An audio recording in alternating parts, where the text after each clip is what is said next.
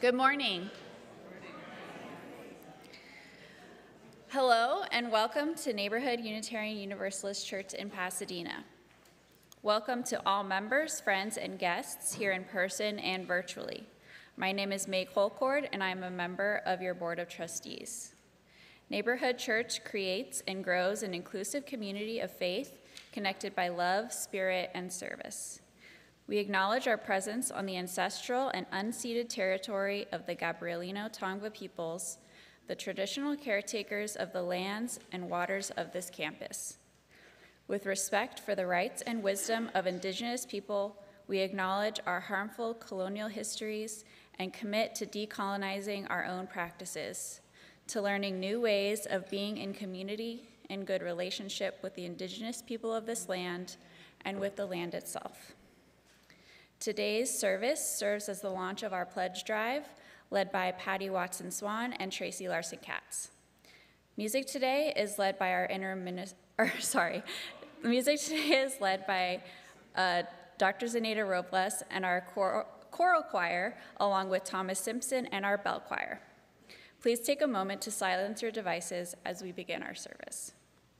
Thank you for joining us as we continue to prioritize connection over perfection in this hybrid service, which is streamed and recorded on YouTube. Based on guidance from our COVID safety team, masks are recommended, though optional, for congregants inside and are optional outside. Families with young children are welcome in the sanctuary, the narthex, or in our new family lounge in the living room of Neighborhood House, where their service is live streamed on a big screen. Today, you are invited for lunch right after service as we celebrate our community of communities and officially launch our pledge drive. Come for food, fellowship, fun activities, and a chance to share how you are inspired, involved, and invested in neighborhood. Next Saturday, March 18th, Neighborhood is hosting a regional meeting of DRUM, Diversity and Re Revolutionary Unitarian Universalist Multicultural Ministries, Unitarian Universalism's oldest and largest people of color collective. The gathering is free and includes a shared meal, worship, relationship building, and a program around the stories we tell about people of color in Unitarian Universalism and our imagination of the future of our faith. And finally, the nominating committee is looking to fill four positions on the board this year. Applications are due next Monday, March 20th, and can be found in the newsletter or on our website. Our order of service and more extensive announcements are available as a link in the Sunday email, posted in the narthex or through the QR code on the back of your hymnal. You can always get more information on these and many other activities at the welcome table. Again, welcome to Neighborhood Church, whoever you are and wherever you are in your spiritual journey. Welcome to this inclusive faith community connected by love, spirit, and service.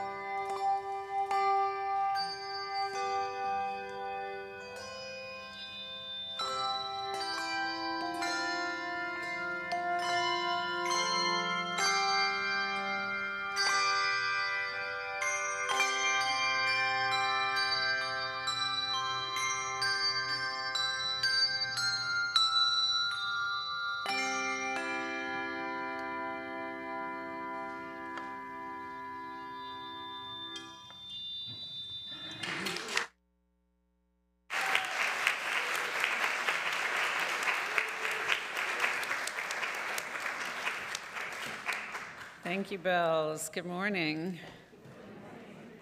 It's been such a cold and dreary week. Let's, let's rise as you're willing and able and greet one another. Say good morning.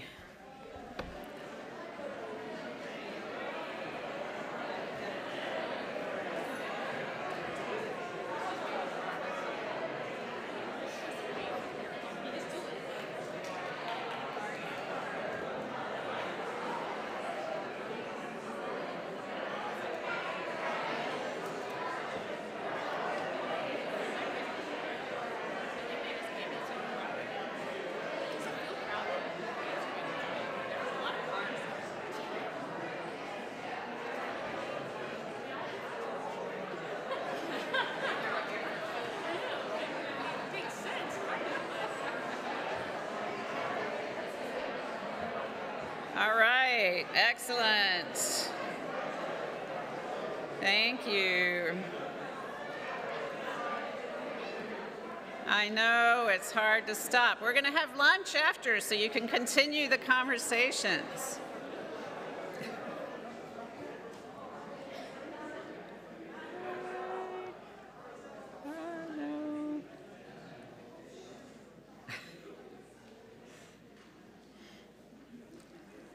Thank you. It starts here, in this moment, in this breath. You feel rising in your chest, this beat building between us, the healing, the hunger, the hope, the courage, the calling, the commitment, the drawing out of a new day it begins now in the imagination. In this story we weave together, this story, this song we sing, this prayer we bring into being from our hearts to our lips, from our hands to our hearts. It starts here, our shared life, with praise and thanksgiving forgiveness, and this humbling centering, this promise that we make to keep learning, to keep trying, to keep our sense of humor, to keep close, this knowing that we are all in this together. Come, let us worship together.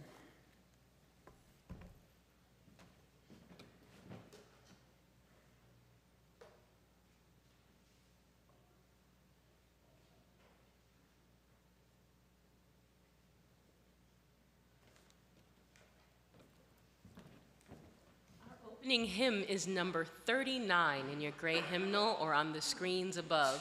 Please rise in body or in spirit and join us in singing our opening hymn, number 39, Bring, O Morn, Thy Music.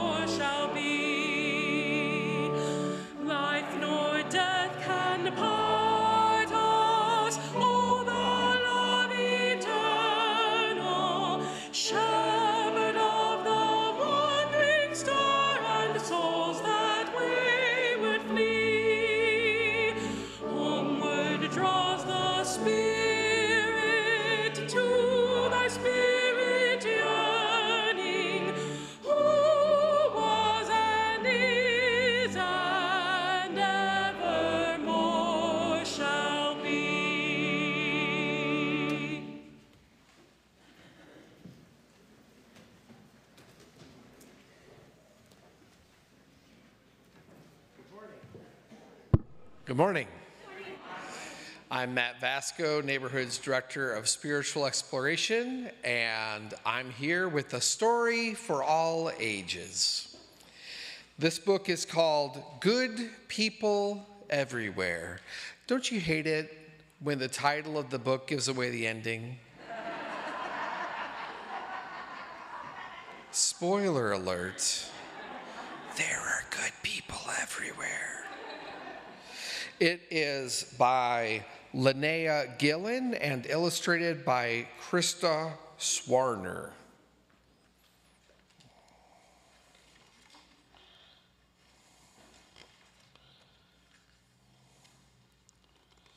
Today, in neighborhoods all over the world, millions and millions of people are doing very good things. Today, carpenters are building fences and houses and repairing homes that have been damaged by storms. Today, moms and dads are cooking dinners for their families, and cooks are working in kitchens making meals for people who don't have homes. Doctors and midwives are delivering babies and gently passing them into the eager arms of their parents. Teachers are teaching math, spelling, and reading skills. Musicians are opening their hearts and playing beautiful music, even right here at Neighborhood, right? And dancers are leaping across dance floors, practicing performances that will bring joy to their friends their families, and their communities. Today, people are planting seeds, picking fruits and vegetables, and driving them to grocery stores all around the world so you can have a ripe, juicy orange in your lunch. Today, a child is trying her very best to do well on her science test. And a teenage boy is helping a young child who is sad and lonely. Today, a first grade boy is helping a friend who has skinned his knee. And a big sister is holding her baby brother while her mother runs across the street to help a neighbor. Today, millions and millions, and I would dare to say even billions and billions of people are doing very good things. And so will you. I wonder what you will do. Maybe you'll stay for lunch.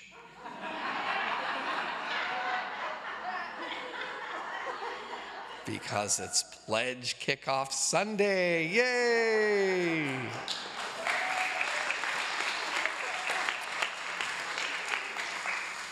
Let's sing our children and youth out to their spiritual exploration classes.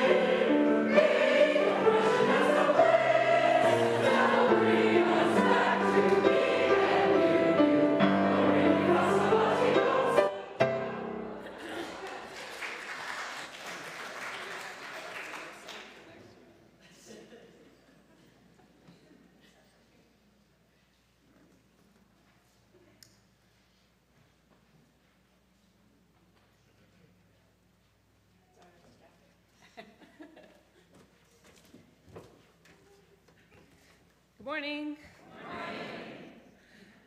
Uh, so, for those of you who don't know me, the most recent time, besides this morning, that I was on this stage was last November.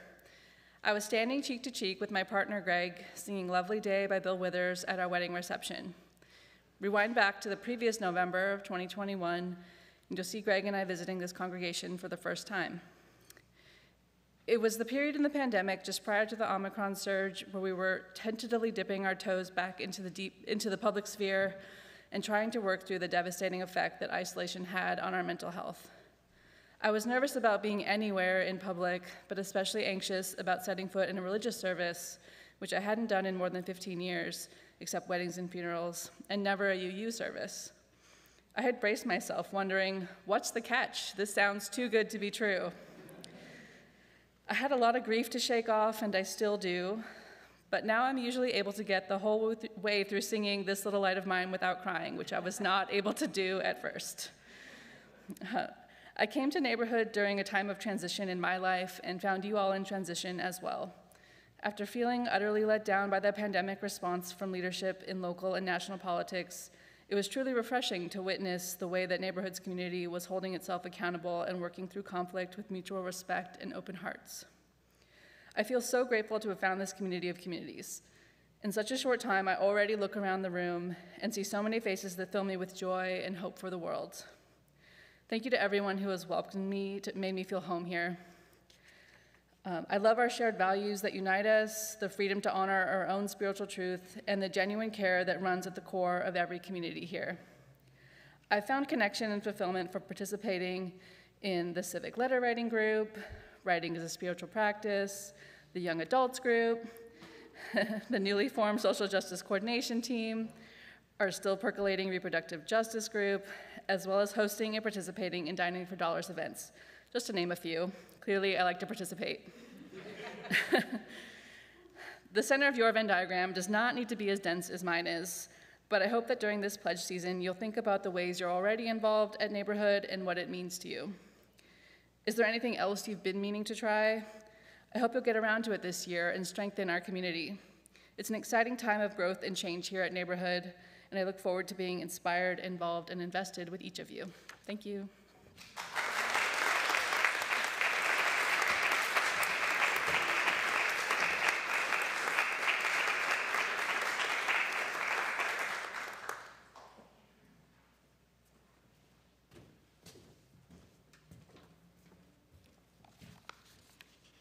Good morning. Don't you just love Tracy's sequence? Oh my God. It's so good. well, thank you all for being here this morning. This is a tough day with the time change. It's always hard for me, but welcome everybody here. So, in the spirit of our pledge theme, I want to talk about why I'm in. A little context here my first service at Neighborhood Church was back in 1998 in the summer. Greg Stewart was our director of religious education, as it was called then, was presenting along with two youth from senior high. They had just come back from General Assembly or GA. I was knocked out by how eloquent these high school students were in sharing their enthusiasm of what they experienced.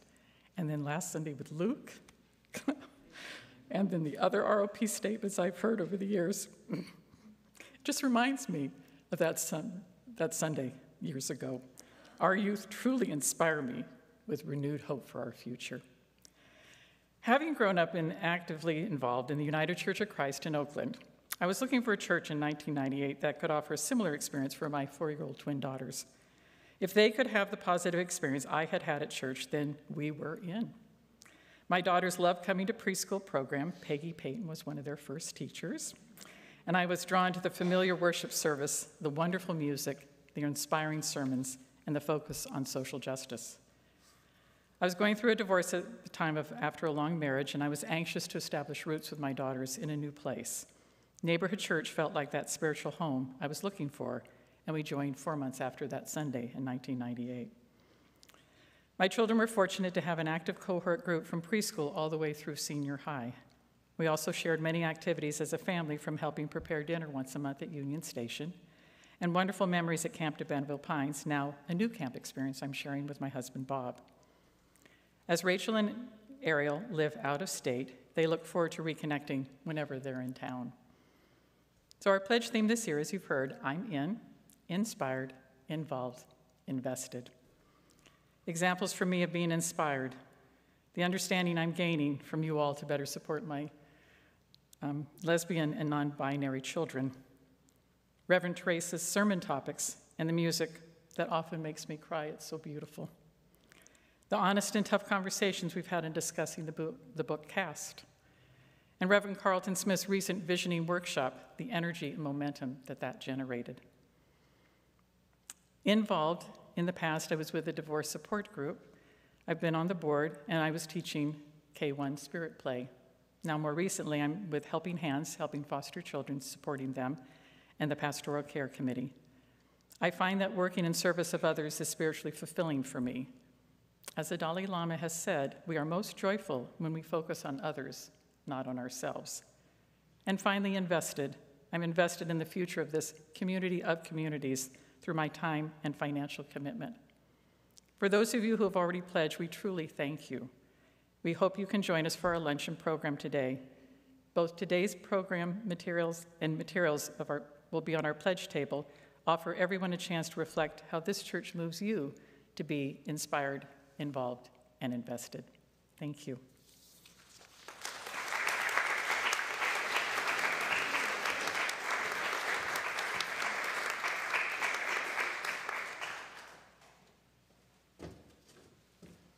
So that was our co-leaders of our pledge drive, Tracy Larson Katz and Patty Watson Swan. Join me in thanking them for stepping into this role.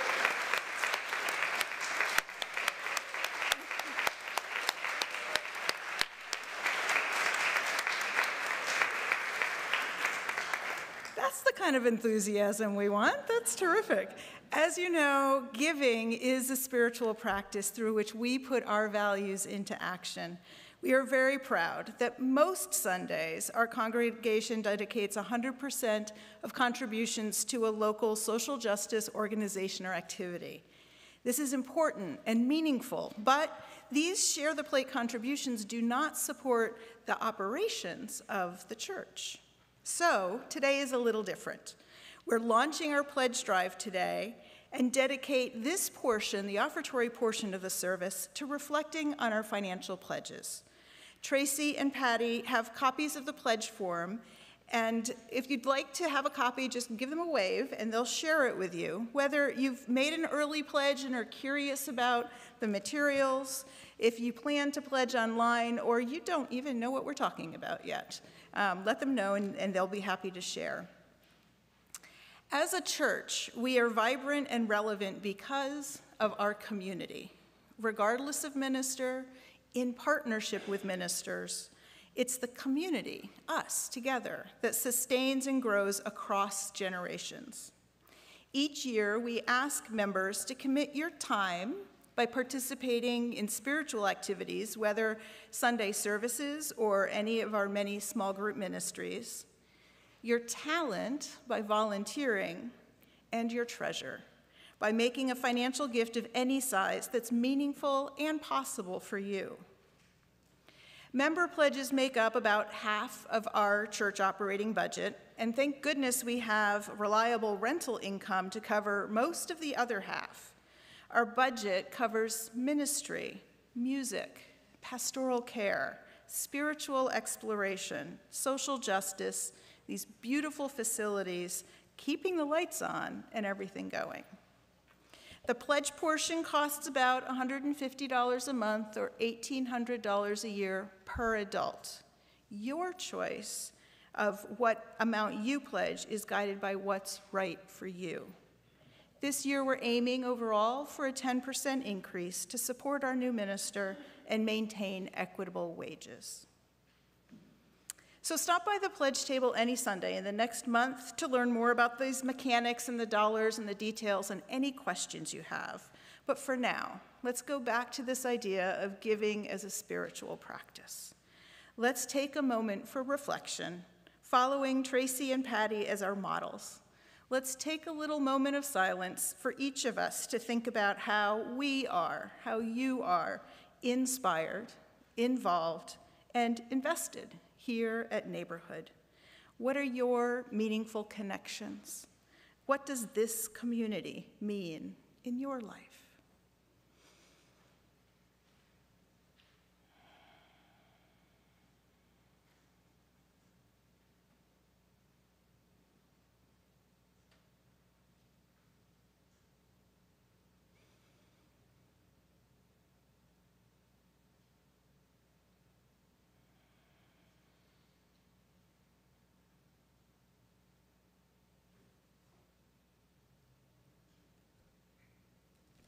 As we think of all the ways we're connected, please join me in responding, I'm in, for all of these statements.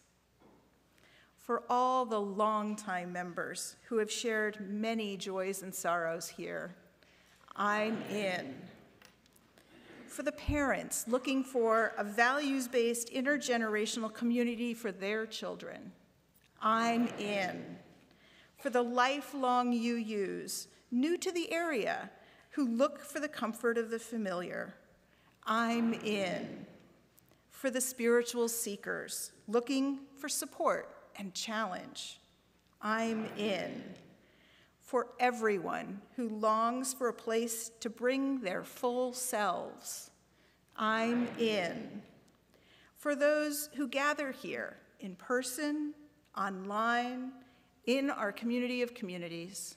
I'm in, and for ourselves, for each other, and for our wild, troubled, and beautiful world. I'm in.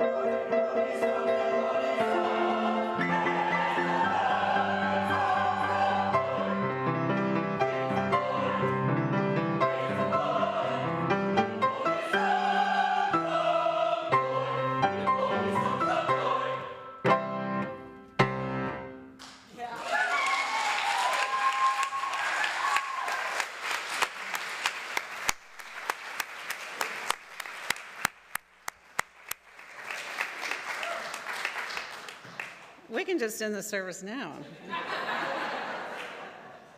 we have been to church.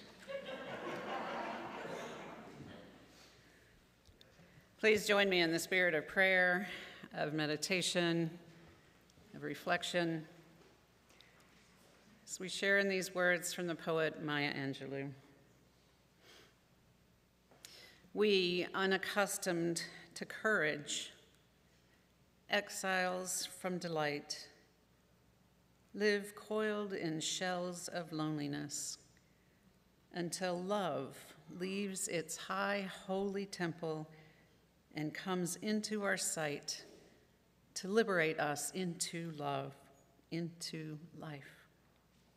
Love arrives, and in its train come ecstasies, old memories of pleasure, ancient histories of pain. Yet, if we are bold, love strikes away the chains of fear from our souls. We are weaned from our timidity in the flush of love's light, and we dare to be brave. Suddenly, we see that love costs all that we are and will ever be, and it is only love which sets us free. Amen.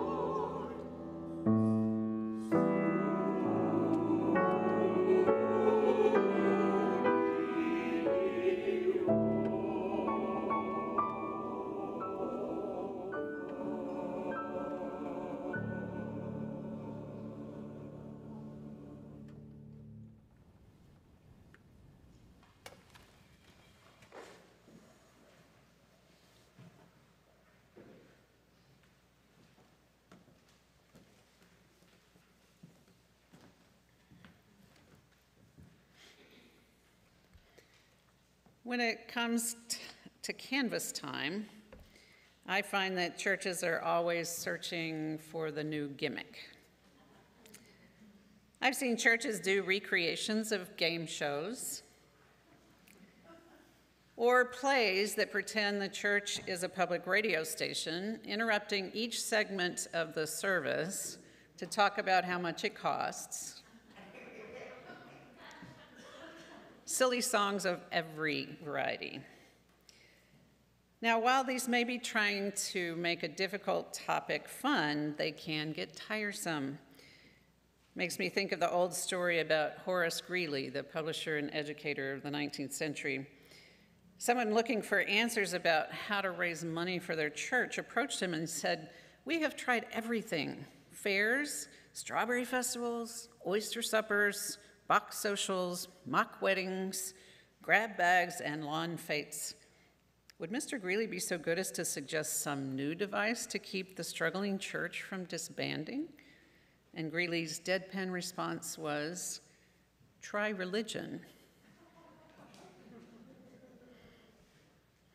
And I am grateful to say it feels like our Canvass theme this year really is religious, in the sense that it asks us to contemplate how we can make our commitment to neighborhood manifest how to make it real.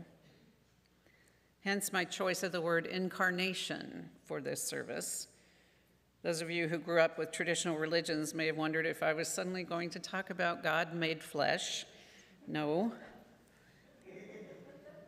But what I want to try to get at is to ask us to think about how we create something together that is greater than the sum of our parts.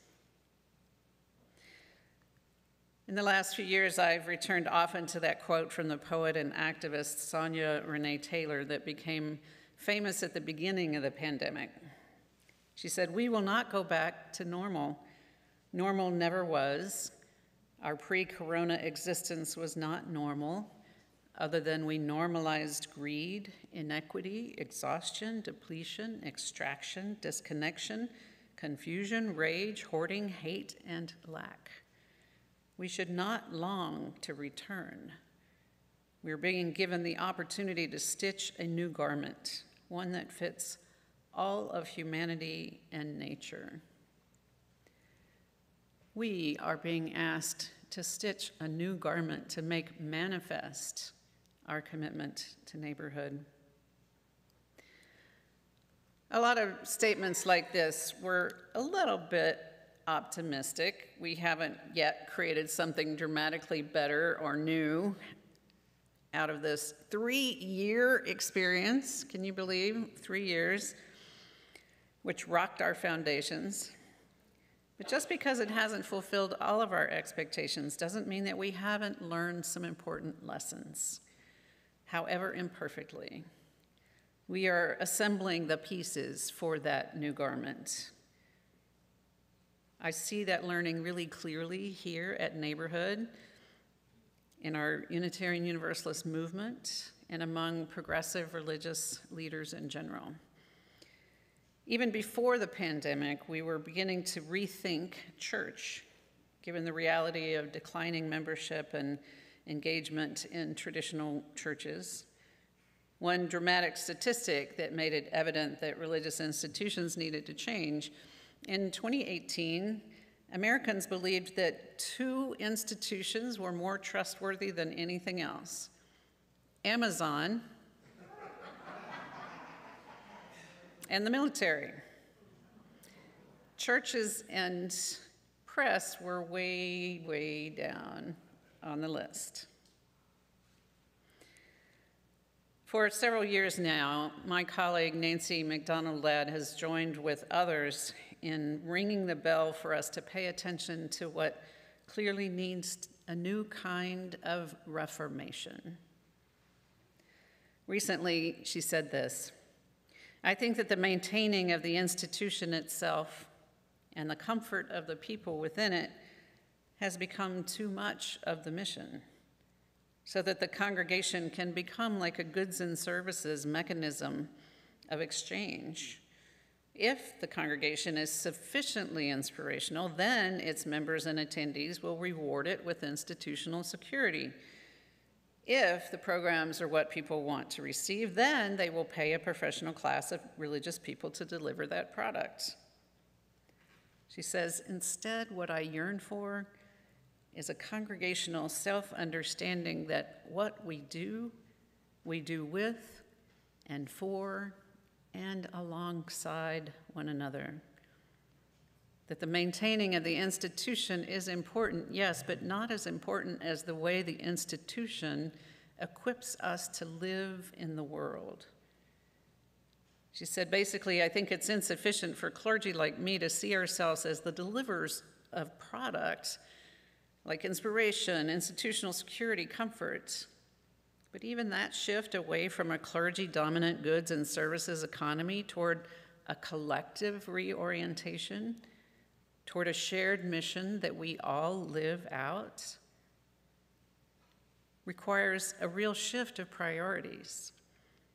All of which would be so hard because she says, after all, I'm exactly the person who benefits most from the way things are. I like having a salary. So it might seem odd to quote this in the midst of a campaign where we are asking you to contribute toward a generous salary for a new minister. But I believe that she's getting at something different, something that we have been experimenting with together, a shared partnership in ministry. And I know that's what you are looking for in your new minister. I think she's getting at something deeper here. She's making a claim for helping a congregation become a shared enterprise in which we all feel that we can contribute what we can, as we say, time, talent, and treasure, to create a collective which contributes to the liberation of all. This is not about making this a place where we believe whatever we want to, a bunch of individuals who just happen to be here at the same time. Innovative colleagues like Nancy hearken back to the wisdom of one of our greatest theologians of the 20th century, James Luther Adams. She said, Adams framed pro- prophetic theology as a dialectic not only, though essentially, between the prophetic and the mystical, but also between the desires of the free individual acting in their own interest and the collective liberatory powers of the whole. When we read Adams today, we find that he tells us something about how we might more honestly relate to the divine, but also something essential about how we are to relate to one another as we seek to be effective agents of the holy in this world. As he once said, by their groups you shall know them.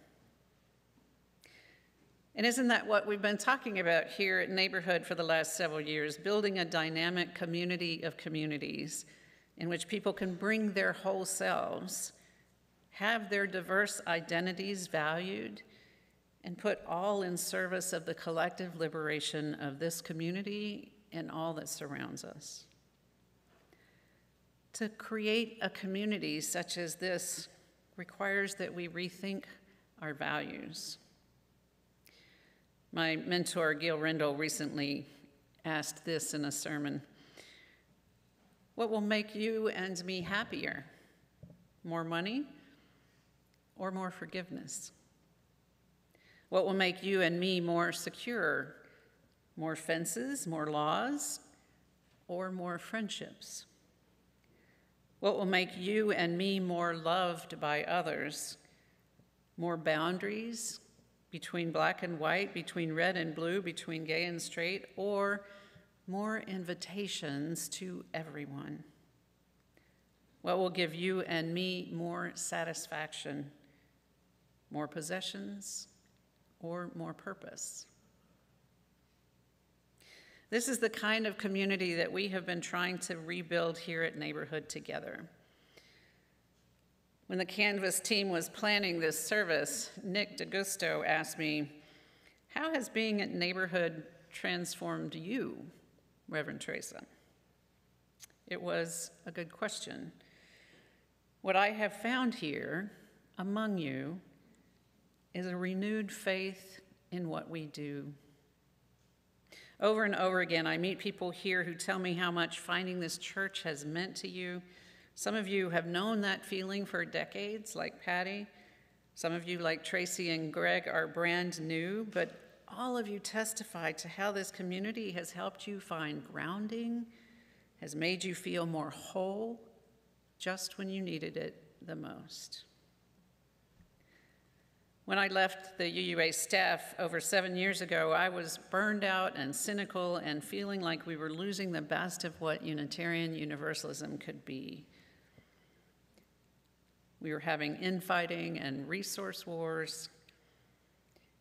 We're still in dangerous waters, but, it, but what I've seen us do, both in this church and the movement as a whole, is to embrace the difficult questions of what it means to be a community today a diverse community today, not a collection of like minded individuals, but a true community in which we understand ourselves as part of something larger than ourselves.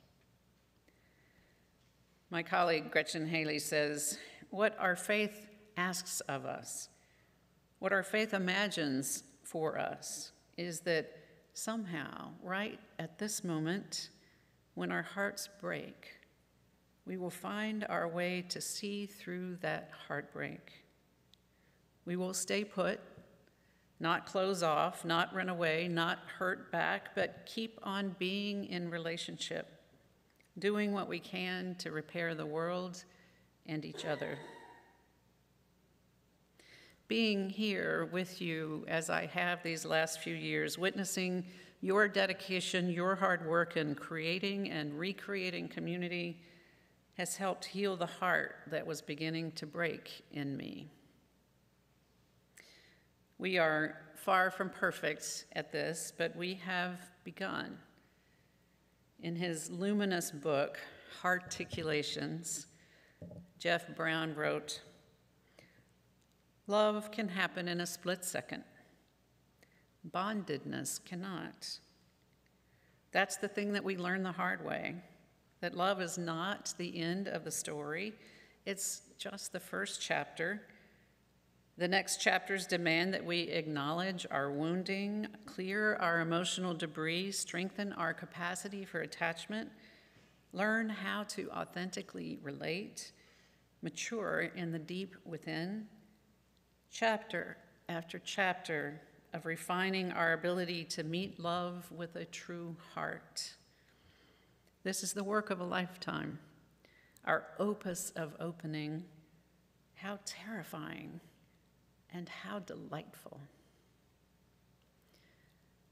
This is the kind of incarnation I believe we are becoming.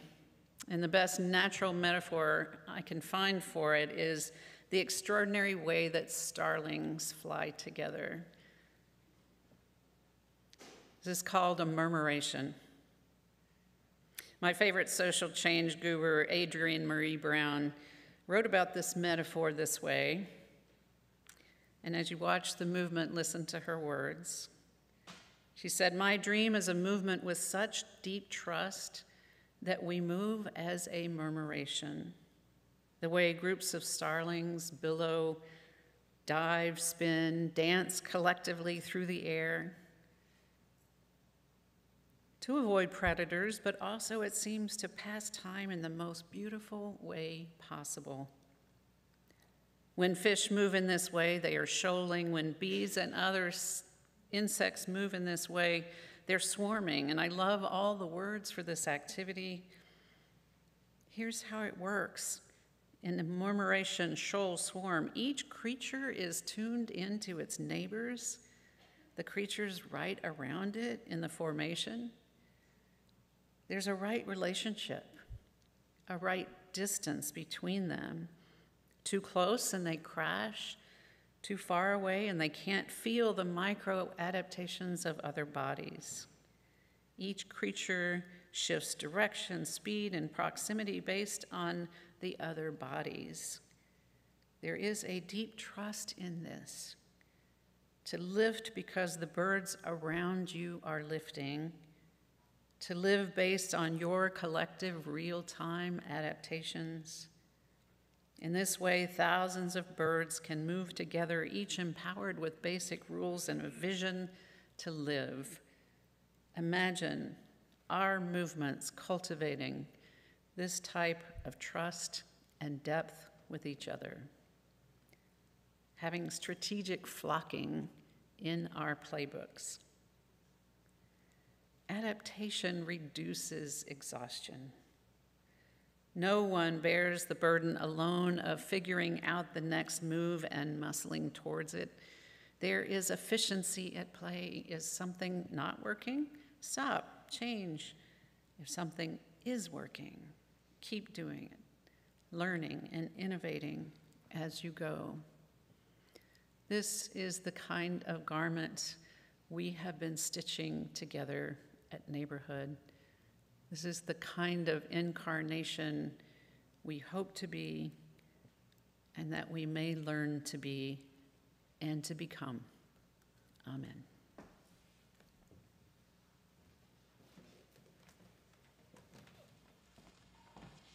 Our closing hymn is number 1028 in your teal hymnal. Please rise in body or in spirit and join us in singing hymn 1028, The Fire of Commitment. Thank you.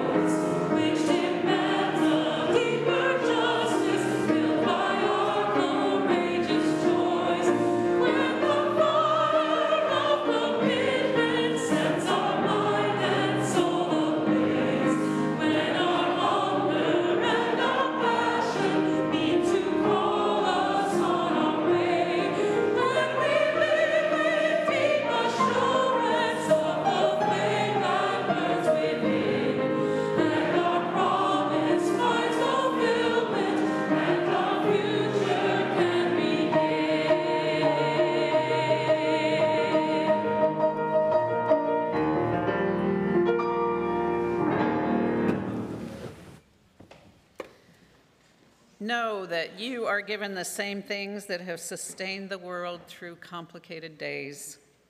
Use all of them wonder, courage, awe, interdependence, the need to rest, and the need to move. Compromise on the inflection, but not the substance.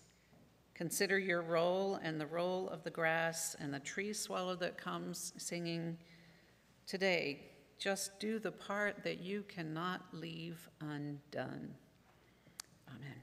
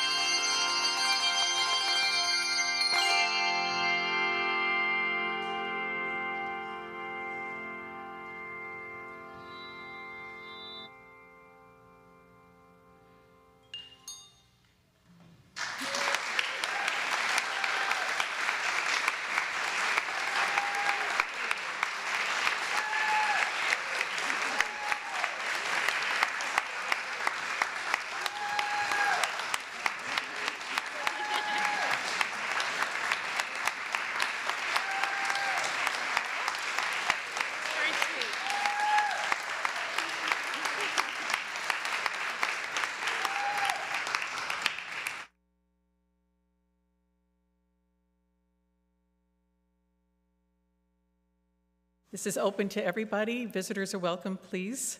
We warmly encourage you to stay for a delicious lunch together on the Labyrinth. If you're ready to turn in your pledge, please drop it at the pledge table just outside or bring it to the lunch with you and we'll collect it there. If you have any questions, there are many of us you can talk with. Over lunch, we'll explore together how we each are inspired, involved, and invested at neighborhood. As you leave the sanctuary, you will receive a question to get your wheels turning and possibly for sharing ideas with others in line at lunch or at your table. So see you at the Labyrinth.